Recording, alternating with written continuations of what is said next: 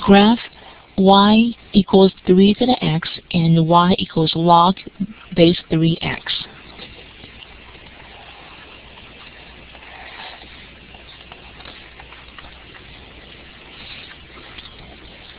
First, first we're going to graph y equals 3 to the x.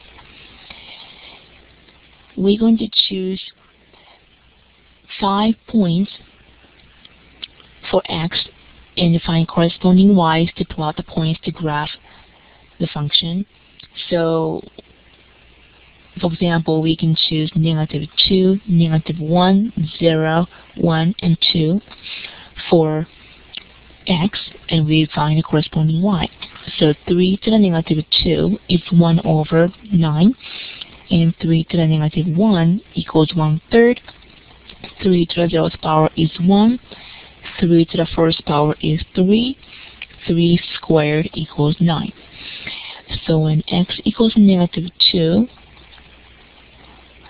y equals 1 ninth, and 3 equals negative 1, 1 third. When x equals 0, y is 1.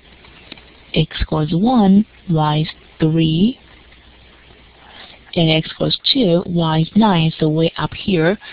So basically the graph looks like this.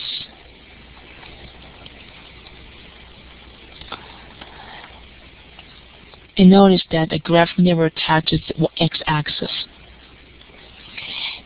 Now for y equals log base 3x,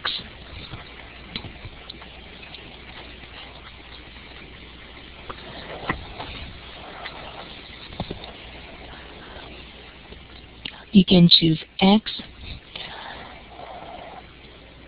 You can choose points for X and find Y to plot points. So for example, when X equals 1, log base 3, 1 will be 0. So the Y equals 0. And if X equals 3, then log base 3, 3 will be 1.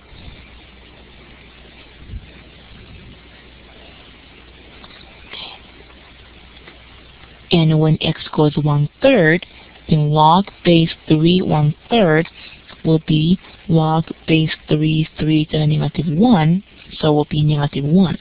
So 3 points enough. So try to choose x, um, points for x so that we can have integers for y, not fractions.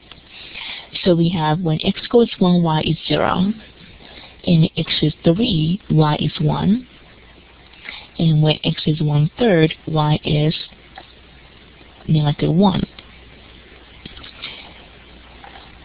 So the graph will look like this.